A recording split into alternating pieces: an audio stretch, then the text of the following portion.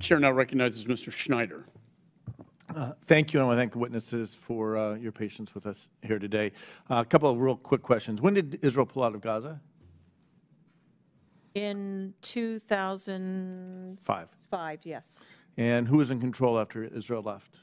Well, initially the PA, and then there was a coup, so it was Hamas after that, And when did the coup happen? 2007. Right. And since 2007, when Gaza violently uh, threw out Fatah and, and took over Gaza, how many escalatory conflicts have there been between Israel and Hamas that have resulted in a negotiated ceasefire? At least six. Uh, at least six. And they have been very tenuous ceasefires. They have been, they've been good for a couple days, good for a couple months, and then they've collapsed. Yeah. Uh, Um, when was the last ceasefire negotiated before this conflict? 2021. Uh, I think it was May 19th, 2021, 870 days before October 7th. Uh, what was the status of the ceasefire on October 6th? Was Israel observing it? Well, you know, uh, yes, of course. Um, I, I would say that it was, um, it was a sort of on and off again affair because you occasionally had rockets and so forth uh, pop off. So, yep. But Israel is observing it. And so I'm going to ask obvious questions. We've touched on these over the course of the day. And again, thank you for your time. But who violated the ceasefire on October 7th? Uh, very clearly Hamas. Who slaughtered 260 young people at a music festival on October That 7th? would be Hamas. Who murdered more than 130 people at Kibbutz Be'eri on October 7th? Hamas. Who butchered children at a nursery in Kibbutz Kfar Aza on October 7th? Hamas. Right. Um, Is it a war crime to intentionally target civilians? Absolutely. War crime to use rape and torture as a tactic? Absolutely. To burn people alive in their homes? Absolutely. To Absolutely. take more than 240 people hostage? Absolutely. To deny those people who they took hostage visits from the International Committee of the Red Cross or the necessary health care? Absolutely. Is it a war crime to use an ambulance to transport fighters and weapons? Yes, it is. How about to launch rockets from civilian neighborhoods, from hospitals, mosques, and schools? Yes, it is. Using human shields, is that a war crime? It is. So let me ask a broader question, because we have talked about this war, and we went through a, a, rapid-fire list of questions. But let me be very clear. I see the suffering of the civilians in this war. It's the civilians who always get caught in the middle of the war. I've said that many times. And we need to bring this war to as rapid conclusion as is humanly possible because the civilians in Gaza and in Israel are suffering. Almost a million people have been displaced in Gaza. Almost a quarter of a million people have been displaced in Israel. But what would happen if Israel were to agree to a ce- ceasefire before dismantling Hamas's ability to fight or to rule over Gaza? Congressman, you put your finger on, the on the issue right here, uh, and I would agree complete with you. The, the, the, the suffering in Gaza among civilians is wrenching. It's emotionally wrenching for all of us who are working on this, this issue. It is wrenching for the governments and the publics in the, in the Middle East who are watching this. And on the other hand, to, um, to call a ceasefire right now, which might or might not be uh, honored uh, by Hamas, would be to leave Hamas uh, in control of 240-some hostages, including babies and children, and would also leave uh, fairly well intact, or much of the military infrastructure and war-fighting capacity and terrorism uh, capacity of Hamas intact. Let me take, build on that for one second, because you used two terms I think are important to distinguish, warfighting and terrorism. What is warfighting? And maybe, Ms. Stroul, that's the question uh, for the Department of Defense. What does it mean to say warfighting? It means to use military force to achieve an objective. Okay. Distinct from terrorism, though. Terrorism is crossing a border, beheading babies, raping women, killing concertgoers. Its intention is to cause trauma and terror, terror to an entire society. Isn't that correct? The point is terror. The war fighting is soldier on soldier. But as we saw on October 7th, uh, what Hamas did was in no way a war, it was pure terrorism. And has it been United States message, President Biden, and let me say this, thank goodness for President Biden. His moral clarity and political courage in this uh, conflict has been just extraordinary. And I know it is appreciated by the people in Israel, and it should be equally appreciated by the people in the United States and ar- uh, around the world. But has he made it clear that Israel has a right to defend itself, but when we talk about that is in the context of war fighting? Absolutely, and it has a, it has an obligation to defend its people from terrorism and from the kind of attacks that we saw on October 7th. Right, I, I'm, I'm out of time. Let me comment on two last things. Uh, One is a quote that you said at the very beginning in your opening remarks. The U.S. commitment to Israel is ironclad. Um, We've said that, the President has said that. Is it fair to also say that the U.S. commitment, as it has been in Camp David, in un- bringing peace to Egypt and Israel, in the Oslo Accords, in the negotiations between Jordan and Israel for peace, in the leadership it has showed in the Abraham Accords, it's also fair that the United States is also committed to bringing peace to both Israel and the Palestinians once Hamas is defeated. Absolutely, and it's the only way that we will not see a terrible repeti- repetition of these events. Thank you. I yield back. So yields, uh, Chair recognizes Mr. James. Thank you, Mr. Chairman. Um, Ambassador Leaf, thank you for your time and uh, for your stamina. I have a quick question for you, uh, followed by a couple others. Um, how do we address the anti-Semitism at the UN? Uh, That's an excellent, uh, that's an excellent question, I'm not sure I could give you a, a, a five-minute or a four-minute, 36-second uh, answer to that. Um, It is, it is really something that we've seen for years, um, and it is a very casual kind of anti-Semitism um, that we see among uh, some member states. Um, Madam, I, I would uh, respectfully correct you. There's no such thing as casual anti-Semitism, but uh, let me let me try. Uh, earlier this year, I led uh, 30 of my colleagues in sending a letter to the State Department promoting the Abraham Accords in Africa. I share this with you because I believe that the Trump administration's vision of peace in the Middle East and abroad is in jeopardy following the horrendous attack on October 7th. Uh, this was an attack against not just Is- Israelis, but uh, on, on humanity broadly. Um, there's a sense that advancements uh, in Israeli normalization uh, might be on long pause. That this bloodshed on October 7th of innocent civilians on all sides might yield yet another generation of dispute, terror, and meaningless death. Is that also your assessment? Oh, there's a great risk of that, yes. Okay. Uh, so, Ms. Stroul, um, the Abraham Accords, I believe, was our, our best diplomatic strategy to box out Iran and to show the world that American leadership can truly lead to peace, which we've done so many times in our great nation's history. Um, part of what we're seeing with the United Nations uh, in the destabilization that is being fomented by Russia and China is that they are trying to break the global south away from alignment with the United States that impedes our interests abroad and threatens America and our allies. The progress that was meant to be made instead of launching bombs and firing bullets through extending the Abraham Accords to Africa, we could exchange culture and forge partnerships.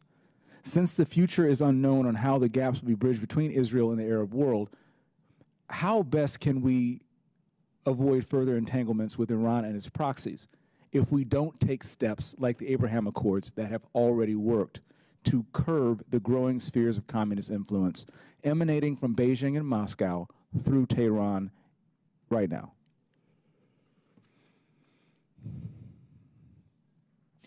Thank you for that question. What is clear is that Iran, Russia, and China all view themselves as benefiting from challenging the rules based international order.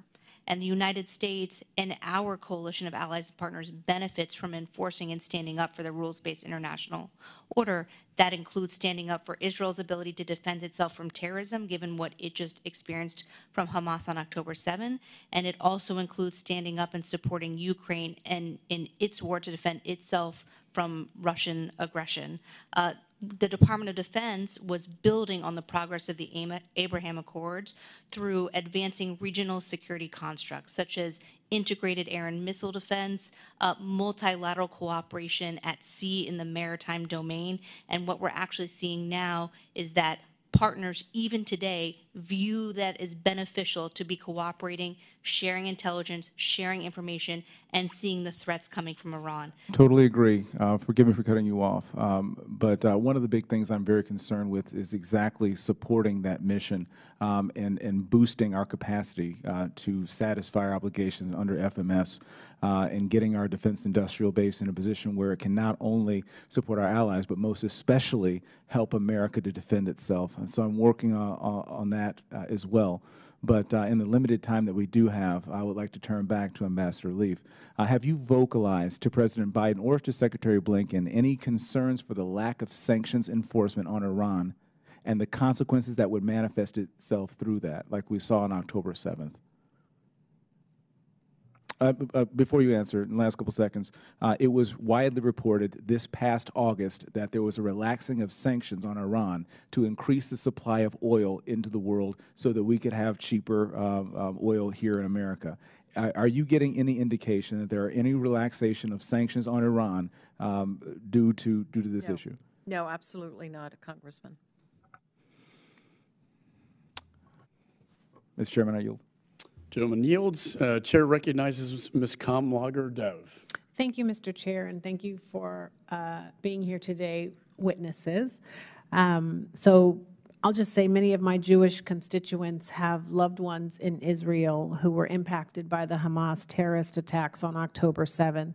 And the trauma lives on with the missing hostages held in Gaza, including my constituent's grandniece, three-year-old Abigail, whose parents were killed by Hamas before she was kidnapped.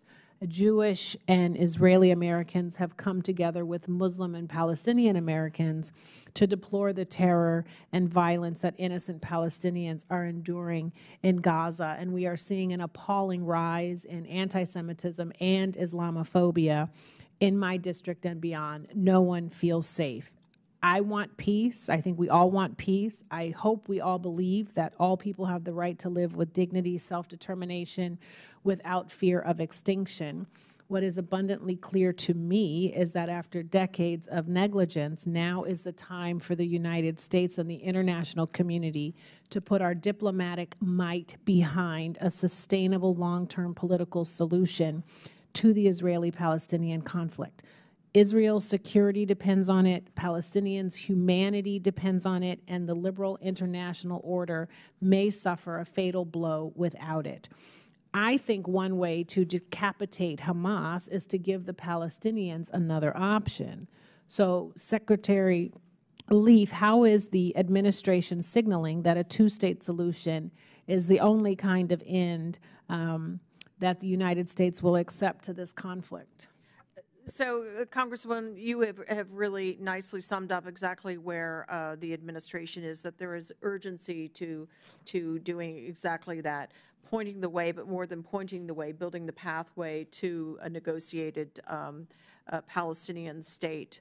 Um, and Secretary Link, uh, Blinken um, has been signaling that privately and publicly um, over these last over this last period. He was uh, quite to the point on this with both the Palesti- Palestinian uh, Authority, uh, President Mahmoud Abbas, and with all of our Arab partners and and with our Israeli partners, frankly, because this is sort of the missing element at the heart of the story.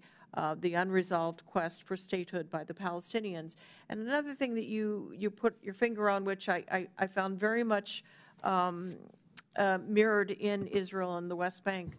Um, uh, Israeli Jews are afraid of Israeli Arabs. Israeli Arabs are afraid of uh, Jew, Israeli Jews.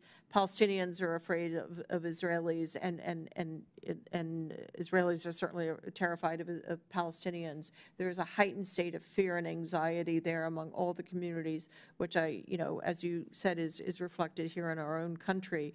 Um, and the way that we begin to, to pull people back from that state of anxiety and mistrust of the other is uh, precisely by going to the heart of the matter and um, helping the Palestinians in their quest for statehood. So, do you have any concern that this war will grow more hardliners on both sides, folks that want to? Absolutely, absolutely. Okay, and how do we prevent that?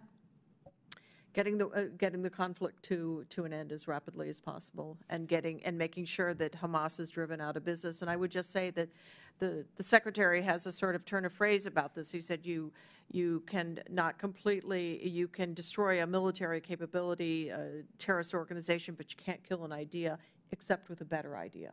And that's Palestinian statehood.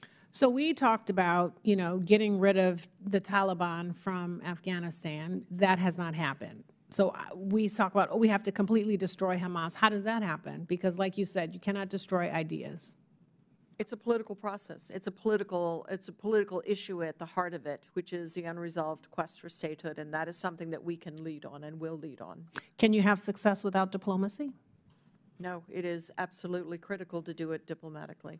How are we working, given Netanyahu has stalled or um, rejected the U.S. call for a humanitarian pause? Um, Does this remain a priority for us, and how do we move the needle with Israel on this? Uh, We are working relentlessly on the issue of humanitarian pause. I, um, last question. I know that the Palestinians were told to evacuate to the south from the north, and then they also have concerns about permanent displacement.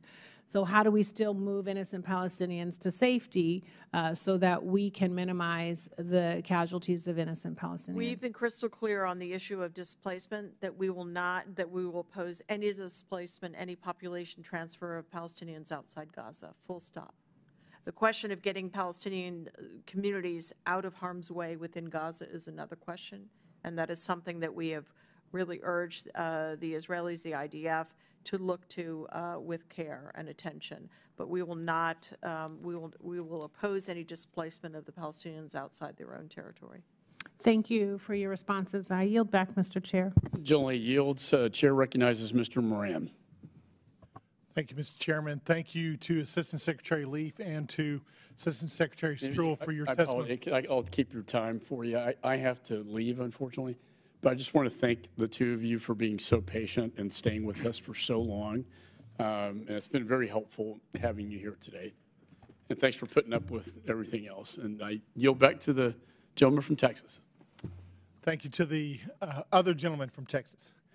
Um, Ladies, I want to, I want to ask you about, uh, first of all, uh, the Gaza Ministry of Health, the information we're getting from them, and what really appears to be some reliance on them uh, for information I'm not so sure is correct. I want to just go through a few things, because over uh, a number of years, through several conflicts, numerous bloody skirmishes between Israel and Hamas, UN agencies, as you know, and uh, others have cited the Gaza Health Ministry's death tolls in regular reports. The International Committee of the Red Cross and the Palestinian Red Crescent also use these numbers or rely on these numbers, as does the United Nations. Uh, several news publications cite numbers from Hamas uh, for uh, their data, but frankly, I'm a little skeptical about the data that's coming out.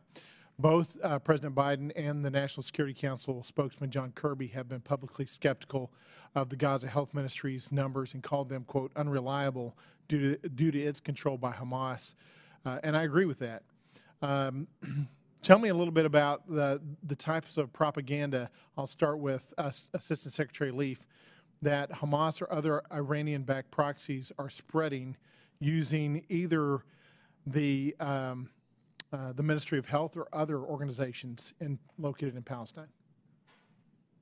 So I, I would just say, Congressman, that um, Hamas is very uh, adroit um, at using social media in particular um, uh, to um, to circulate its propaganda, to circulate disinformation, misinformation.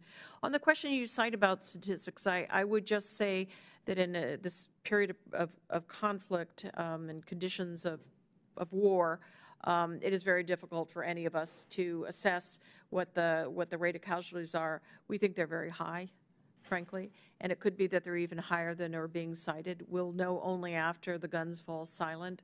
So uh, I, you know, we we take sor- we take in sourcing from a variety of um, of folks who are on the ground, um, and so I, I can't. I can't stipulate to one figure or another, but I think they, it, it's very possible that they're even higher than, than is being reported. I appreciate that answer because that kind of goes to my next question. I was going to ask specifically about the number 10,000. That's the number that, as of November the 6th, is being reported as the number of Palestinians in Gaza who have been killed.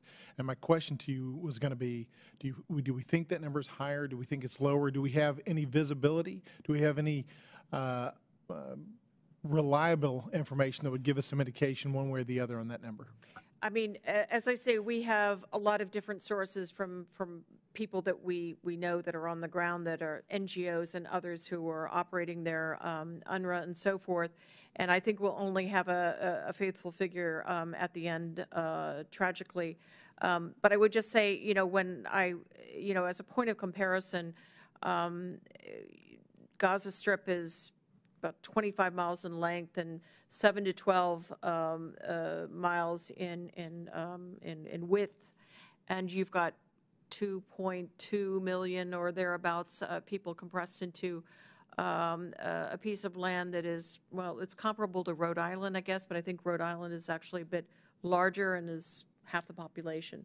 So in these extraordinarily dense um, uh, confines, it, it just stands to reason there, that there are very high casualties. In my last minute, I want to switch gears and, and ask both of you about uh, Iran's participation early on in the assault. Uh, It appeared that there were advanced missiles and drones targeting uh, civilians and civilian infrastructure used by Hamas.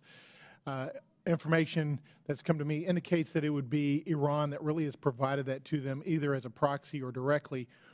And so, what is it that we need to be doing to push back against Iran's participation in Hamas's terrorist attacks that started October the 7th and continue to today? So the question of, of, you know, direct Iranian um, involvement in that operation is still, uh, still a, a a question that analysts are looking at very closely. I heard a variety of opinions from intelligence services when I was out in the region, uh, um, with some officials saying that they found um, that even the political elements of Hamas were clearly in a state of, of, of surprise on October 7th, that this was a very uh, uh, siloed operation, um, and that other elements of the so-called Axis uh, were in the dark. All that said, uh, it's fair to say that Iran set the table for this in, in the years of support it gave to uh, training and lethal aid and finances to Hamas and to other elements of the of, proxies. Um, we need to strangle the financing. Um, the weaponry, a lot of that has apparently been uh, manufactured on site in Gaza, underground. So there's been an enormous amount of smuggling. We're going, we're very dedicated to the proposition of helping Egypt do what's necessary to really tighten uh, its border controls and its screening. Thank you, Assistant Secretary Leaf. Assistant Secretary Stroul, you got left out. I'm so sorry about that, but ma'am, I appreciate uh, both of your time today. And uh, Mr. Chairman, I yield back. Thank you, Congressman Moran. We now proceed to Congressman Tom Kean of New Jersey. Um, Thank you, Mr. Chairman. Um, On the morning of Saturday, October 7th, Hamas launched the most brutal and expansive surprise attack on Israel since the Yom Kippur War 50 years ago. And while these attacks may have been perpetrated by Hamas and Palestinian Islamic Jihad, let's not forget that the real architects and motivator behind these actions is Iran. I, like many in this committee, support Israel's right to self-defense and stand ready to ensure that it has whatever it needs to ensure its survival.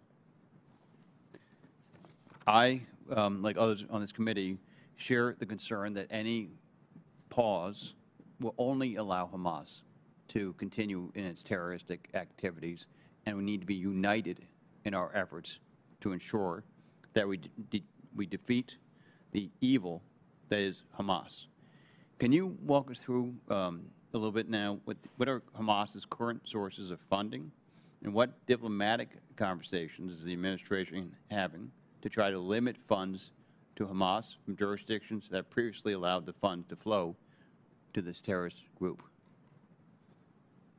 So uh, we are really constructing a, a wide-ranging diplomatic effort on this front, and I think that we'll go back to um, you know the efforts that we had uh, against ISIS, for instance, or Al Qaeda and other major terrorist organizations. The the effort to dry up the funding, to cut it off from both governments but also private uh, donations, is a long sort of trench warfare, and that's what we're going to be doing globally, going around to just restrict and uh, break up. Are you disrupt. already doing that? I'm sorry.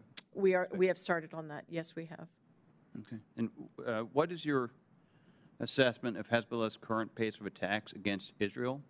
And what is Hezbollah hoping to achieve with these attacks?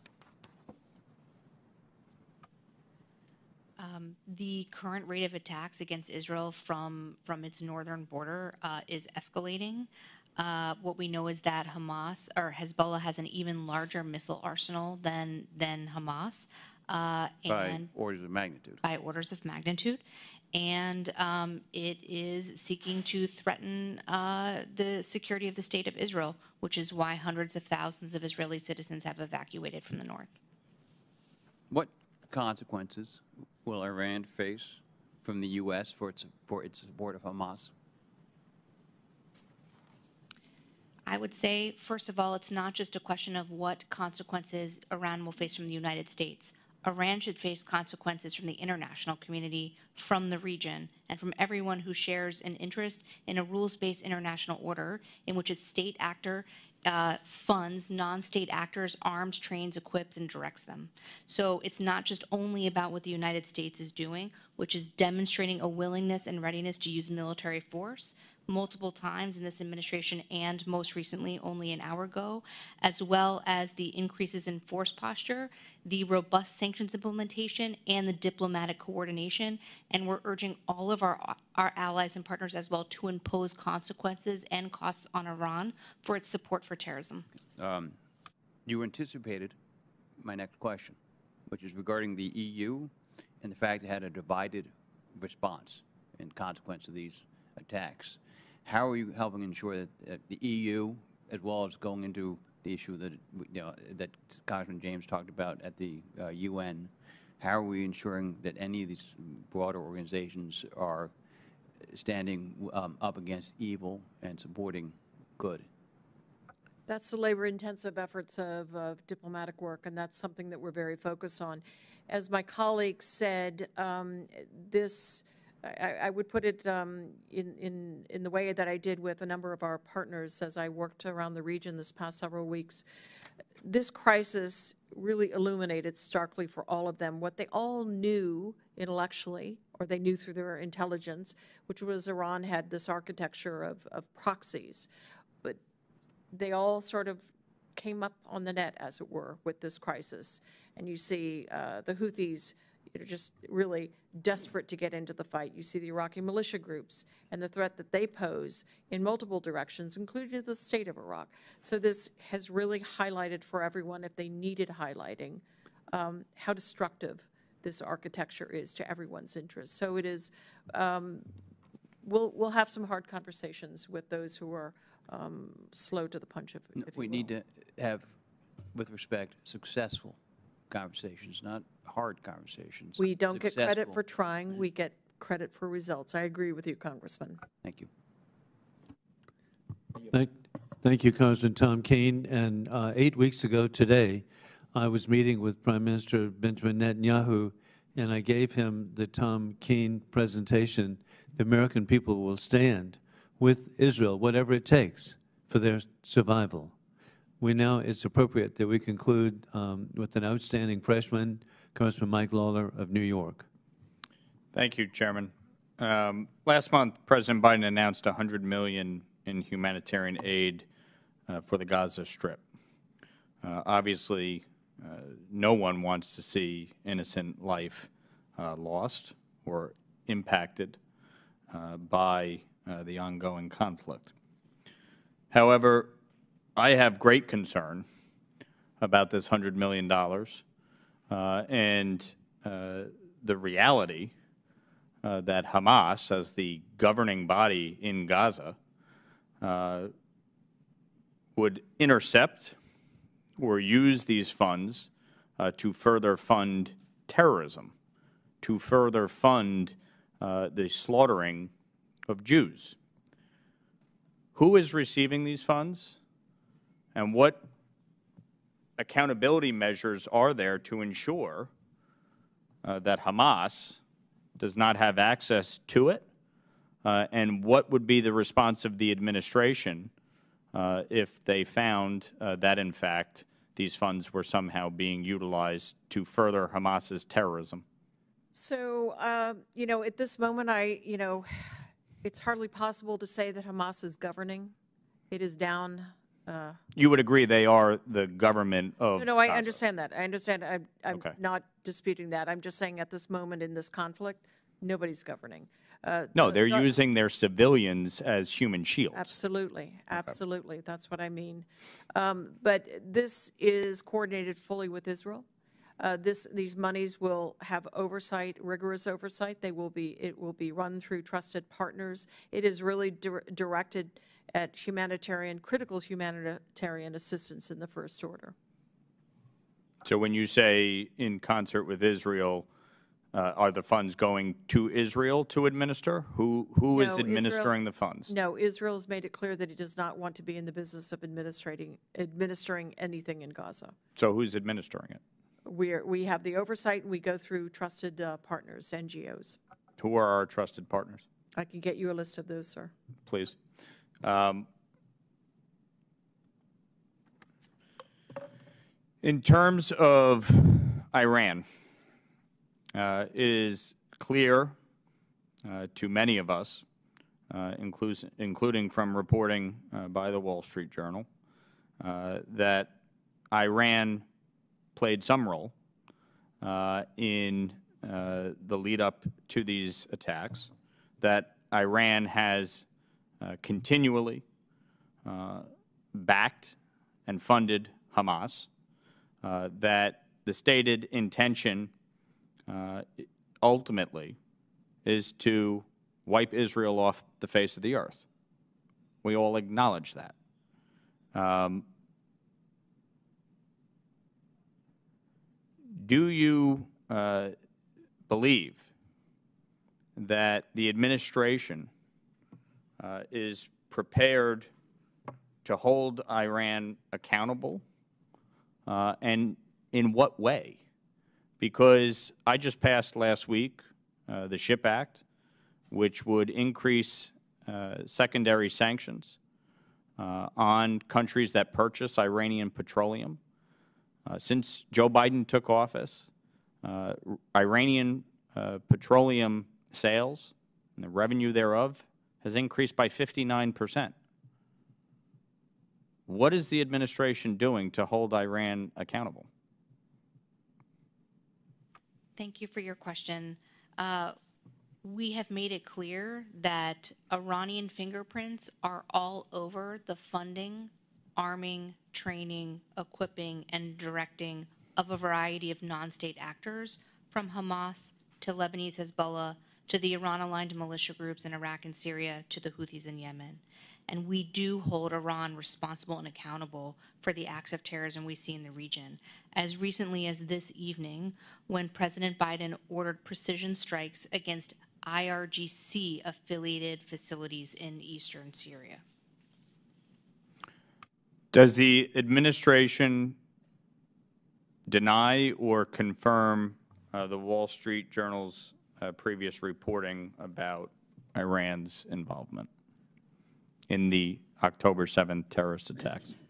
The administration has been very clear that Iran has had a role through its arming, training, equipping, and funding of Hamas. Does the administration confirm or deny the reports of the Wall Street Journal with Can't respect to the October specific 7th? Wall Street Journal article. What Assistant Secretary Leaf also said earlier is that there is not a smoking gun piece of intelligence that confirms that Iran directed the specific nature, scope, scale, and timing of the October 7 attack, but there's no question that Iran is responsible because of its arming, training, funding, and equipping of Hamas. Given, given that, and given your statement there, should the $6 billion in unfrozen funds be permanently refrozen? That would be a decision for um, senior level of the government, but at this point, that $6 billion has not been touched, and it is, uh, the, the, um, the, the use of it is for humanitarian purposes only. I yield back. Thank you very much, Congressman Lawler, and Secretary Leaf and Secretary Stroul.